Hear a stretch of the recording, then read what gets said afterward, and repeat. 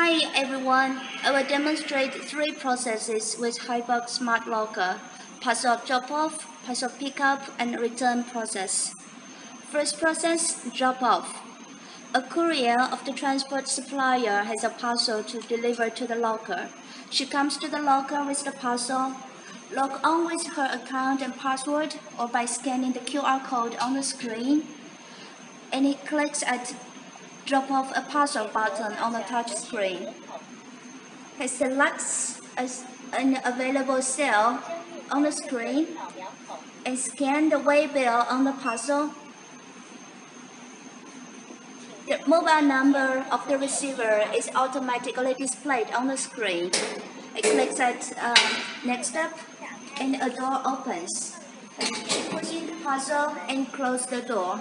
This is the end of the drop-off By the time the door closes, the receiver receives a message on her mobile containing a pickup code and the address of the locker. The receiver comes to the locker with the, with the mobile. She clicks on the screen, pick up a parcel button. By this time, she can punch the code or by scanning the QR code on the screen. By inputting the code, a door automatically opens.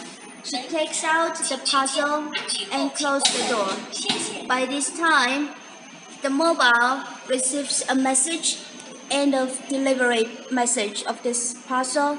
So does the system of the transport supplier. Third process, return. Assume this mobile phone demonstrates the ERP system of Finning. An employee who needs to return a parcel places an order in the ERP system. She inputs all necessary information for this return order, including the destination, the article number of the item, and so on. There can be an approval process inside the ERP system. After all this is approved, by clicking at place an order, she can generate a code to deliver a parcel. The employee comes to the locker with this code. She clicks on the return button on the screen and select a cell with proper size for the return parcel. This time she needs to punch the code for to deliver a, code, a parcel.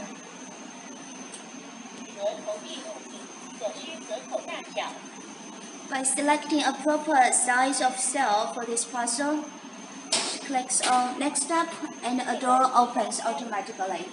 She can put in the parcel and close the door. By this time, the transport supplier receives a message for this order on their system. This is the end of demonstration. Thank you for your attention.